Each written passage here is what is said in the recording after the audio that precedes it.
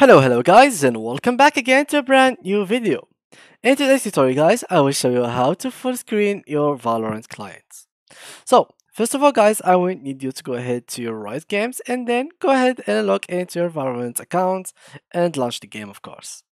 After that, the Valorant shall be opened somewhere like that. So let's see, this is your Valorant and that's how it looks in your PC, which is terribly looking because you can't really aim in such a thing? Well, basically you can, but the game is not really good looking for your eyes and not comfortable. So how you can fix that problem and make it fit or your monitor? First of all, if you want to make it like full screen, make sure to go, let me just close this over here. And basically what I'm going to do is go to here, display settings. And from here, I must check like my resolution.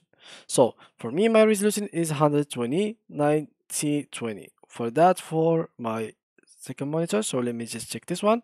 So this one is uh, 9020, 1080. So check the monitor that you play Valorant in it. So for me, this is the second one, which uh, which is the one that I play Valorant in it, which is this is the highest resolution in it.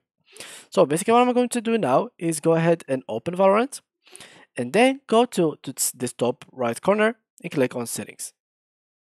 Now, after I, I finish with that, go to video, which is the before last option in the menu.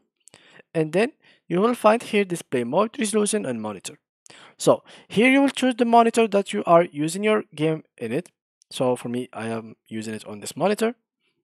And here choose the highest resolution that you can get on this monitor, which is for me 90, 20, 1080, 144 Hertz. So let's pick this.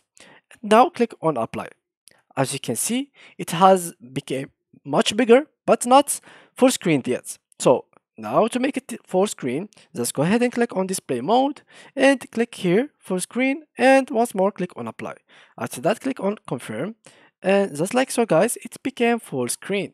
So yeah guys, that's how you can make the full screen environment. Thank you a lot for watching and see you in the next tutorial.